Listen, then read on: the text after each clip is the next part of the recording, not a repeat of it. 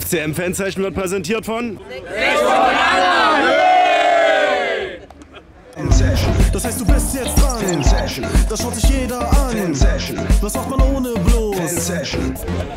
Herzlich willkommen zur FCM Fansession und hier steht da auch schon der Präsident von der Sektion Angern, ist das richtig? Jawohl, ich bin der erste Vorsitzende, Carsten mein Name, hallo. Erzähl mal so ein bisschen was über Sektion Angern. Seit wann gibt es euch, wie viele Mitglieder und was kann man bei euch so Gutes erwarten, wenn ich jetzt mich da einschreibe als Mitglied? Ja, also gegründet haben wir uns im Jahr 2018, im Februar genau gesagt. Und äh, ja, natürlich aber auch schon Jahre vorher mit äh, vielen Kumpels schon unterwegs gewesen und Fußball geguckt und äh, den FCM unterstützt. Aber irgendwann haben wir gesagt, Mensch, lass uns mal was Richtiges machen und dann haben wir eben gesagt, wir gründen den Fanclub. So Gründungsmitglieder waren wir ungefähr 15 Leute. Mittlerweile sind wir bei 40 angekommen. Aber Mitgliederzahl muss man sagen, querbeet vom Alter her, von den Kindern angefangen, 10 Jahre bis hoch. So 59 ist unser ältestes Mitglied jetzt, der diesen Monat auch noch 60 wird. Da machen wir auch noch eine schöne Party zusammen. Ja, das so im Groben. Ja. Von 2018 zu 2021 sind jetzt drei Jahre, ist nicht so viel. Was habt ihr denn davor gemacht? Da wart ihr nicht beim FCM. Davor waren wir auch beim FCM, natürlich, aber wie gesagt, noch nicht offiziell als Fanclub. Ja. Aber irgendwann haben wir eben gesagt, Mensch, lass uns mal was Handfestes machen und so weiter. Und die Kontakte waren ja da zu den Leuten und äh, zu den Verantwortlichen auch schon und zu den anderen Fans. Und da haben wir gesagt, Mensch, machen wir einen eigenen Fanclub und versuchen da was auf die Beine zu stellen. Und muss man vielleicht noch dazu sagen, Sektion Angern sind nicht nur Leute aus Angern, es sind auch aus dem Umland, ja, die mit zukommen. Die Dörfer ringsrum, die da liegen und so weiter. Also es ist nicht nur rein, rein Angern, ja. Dann kommen wir gleich mal zur Sache.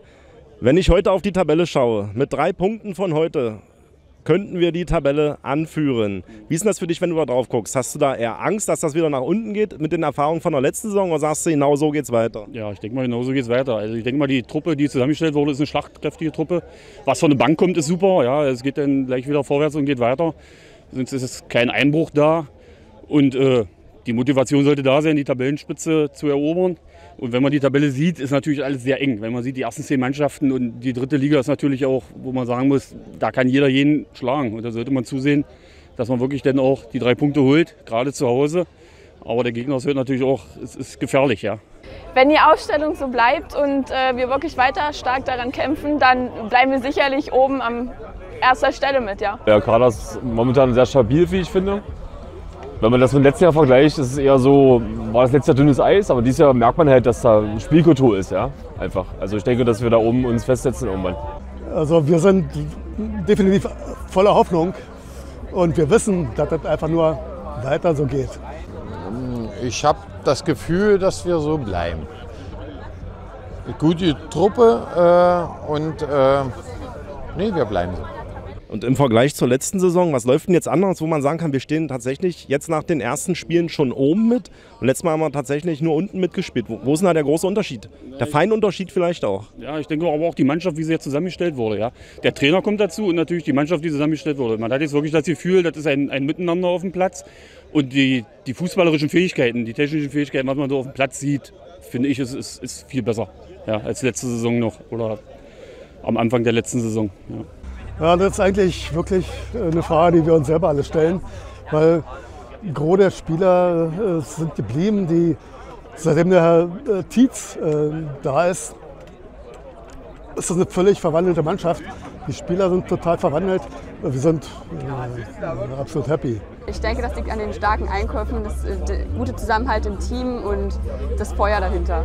Auf jeden Fall. Ich denke am Trainer auf jeden Fall und äh, halt am, am Showwork halt, ja. Also er hat gut eingekauft, also hat haben beide gute Arbeit geleistet, definitiv.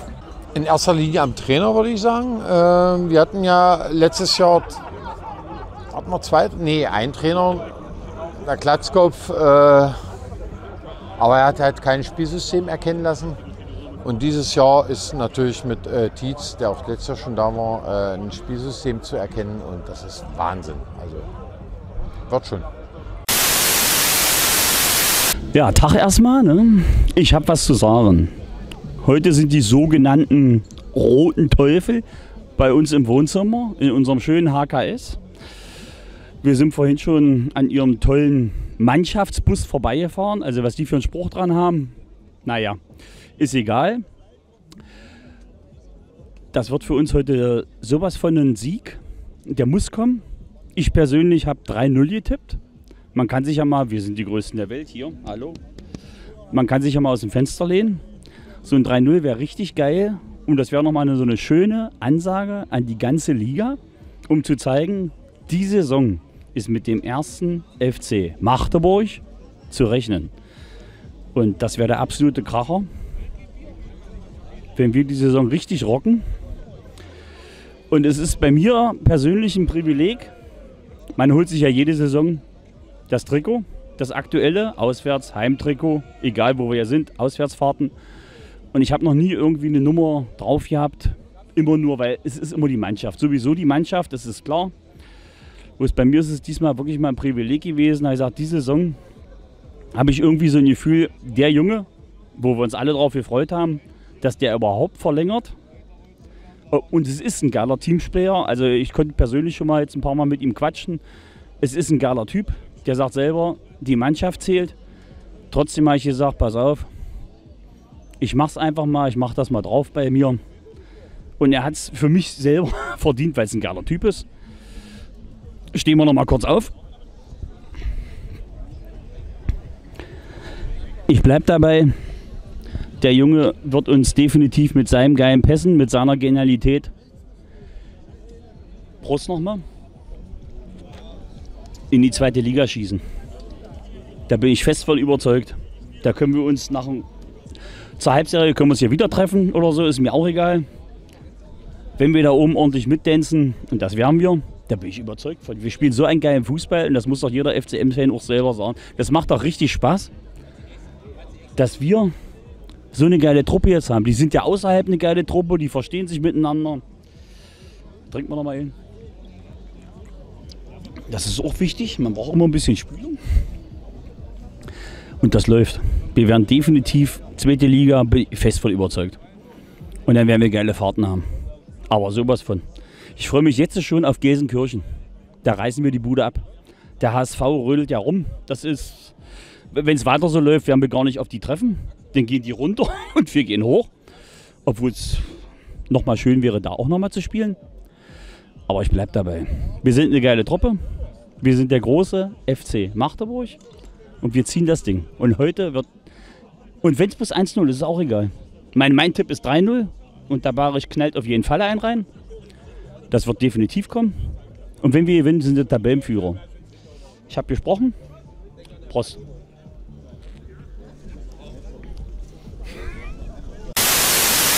Einen kleinen Abstecher muss ich jetzt zum Schluss nochmal nach Saarbrücken machen.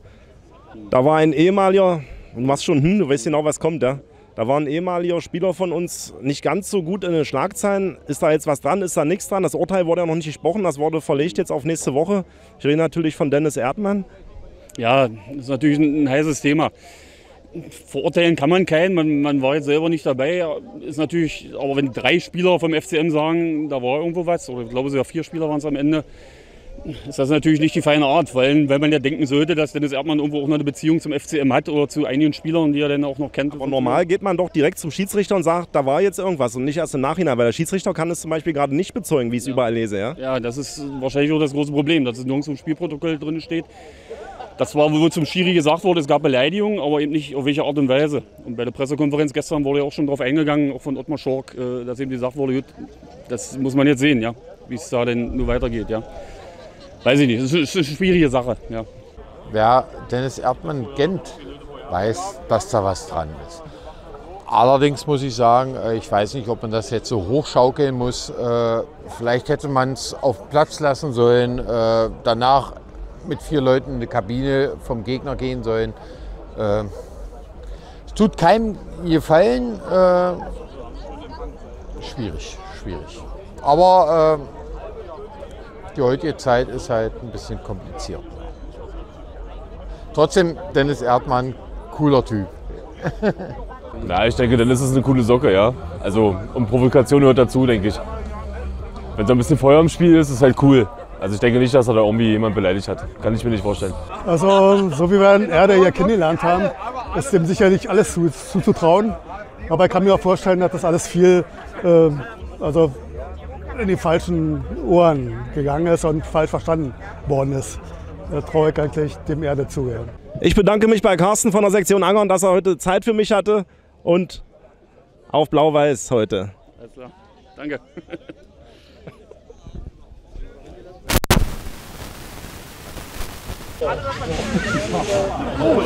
Ja, ist gut. Er verrät mich bei meinem Denken. Wenn ich da angehe, macht Schnüffel, wisst ihr, was war?